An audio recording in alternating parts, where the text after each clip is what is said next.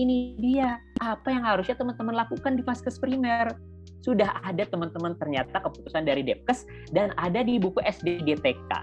SDIDTK kepanjangannya apa? Nah, nanti teman-teman yang belum tahu nanti coba cari tahu ya. Itu nanti bukunya juga aku bagikan melalui admin NetSense. Nah, teman-teman harus baca-baca tuh buku SDIDTK. Harusnya teman-teman melakukan penimbangan berat badan, pengukuran tinggi badan, pengukuran lingkar kepala itu tiga bulan sekali.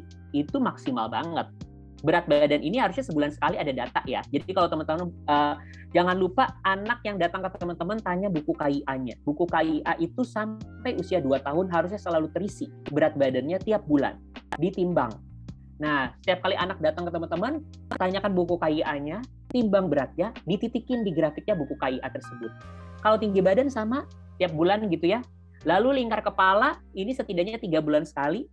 Lalu KPSP, KPSP ini setidaknya tiga bulan sekali harusnya di screening gitu.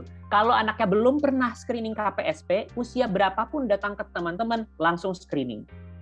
Lalu TDD ini tes daya dengar mulai usia tiga bulan. TDL itu tes daya lihat itu mulai usia 36 bulan.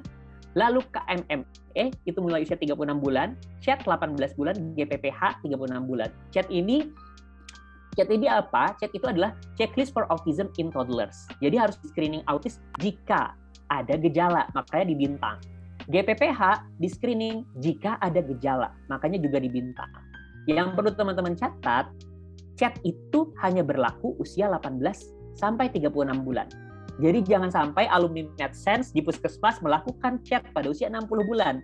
Itu sampai ketahuan dokter anaknya nanti uh, ditanya itu, itu uh, dokternya kan melakukan chat ya di usia 60 bulan. Tidak teman-teman, chat itu hanya kuesioner yang dilakukan pada usia 18 sampai 36 bulan. GPPH itu pakai ACRS, nanti saya tunjukkan. Nah, kita lihat nih, bahkan ya orang tua zaman sekarang itu udah hampir semua hampir banyak yang pasti sama buku KIA. Di buku KIA tuh ada tabel-tabel perkembangan. Jadi kalau anak orang tua yang berpendidikan tinggi, mereka udah baca dulu teman-teman, dok anak saya tidak sesuai dengan buku KIA. Maka teman-teman jangan sampai tidak baca buku KIA. Di dalamnya itu teman-teman harus baca dulu. Karena kalau sampai dapat orang tua yang berpendidikan tinggi, nanti akan kagok gitu kalau orang tuanya nanya ke teman-teman, kok nggak sesuai ya sama di tabel di KIA gitu. Nah, yang harus lakukan teman-teman apa? SP, TDL, TDD, bahkan sampai Denver. Nah, kapan harus berujuk?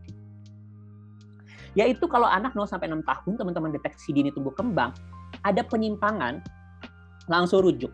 Kalau meragukan tunda dulu dua minggu, lakukan intervensi dua minggu distimulasi sama orang tuanya. Halus sebelah habis dua minggu, dicek lagi. Jika hasilnya penyimpangan, rujuk. Jika hasilnya masih meragukan, tunda dua minggu lagi. Jika masih meragukan, rujuk. Jadi meragukannya ini sampai tiga kali rujuk. Tapi kalau dari awal udah penyimpangan, langsung rujuk. Tapi kalau sesuai aja, sesuai aja maka edukasi stimulasi. Nah, makanya teman-teman harus paham apa edukasi stimulasi, usia berapa saya harus edukasi seperti apa. Nah, ini tahap, tahap perkembangan anak menurut usia dari buku SDIDTK. SDIDTK. Apa kepanjangannya? stimulasi, deteksi, dan intervensi dini tumbuh kembang anak Kemenkes RI 2016. Ini nanti bisa teman-teman baca sendiri, tapi kita bisa garis bawahi hal-hal yang penting gitu ya. Umur 0 sampai 3 bulan, harapannya di 3 bulan, anak itu udah bisa ngangkat kepala 45 derajat, kepala gitu kanan kiri. Nah, sudah bisa balas senyuman ya karena indera penglihatannya sudah membaik sampai usia tiga bulan. Jadi kalau orang senyum, dia harus balas senyum karena dia ngeliat. Karena itu adalah bagian dari interaksi. Lalu di usia 3 sampai 6 bulan dia udah kayak gini nih, ngangkat kepala 90 derajat. Udah bisa berbalik dari telungkup ke telentang.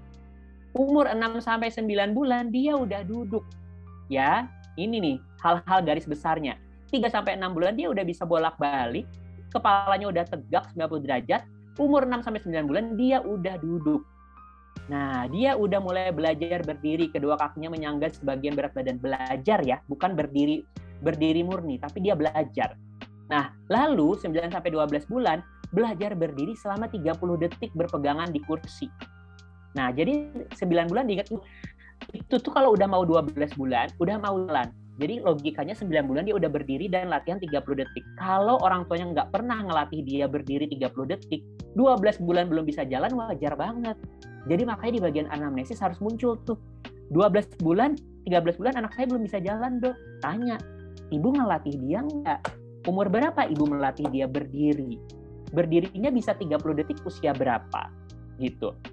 Nah, ini 12 sampai 18 bulan, dia harus udah bisa manggil papa, manggil mama. Udah kenal yang mana papa dia, yang mana mama dia, dan dia panggil. Kalau dia belum bisa panggil, masalah nih. Harus dilakukan tahapan screening, yaitu KPSP.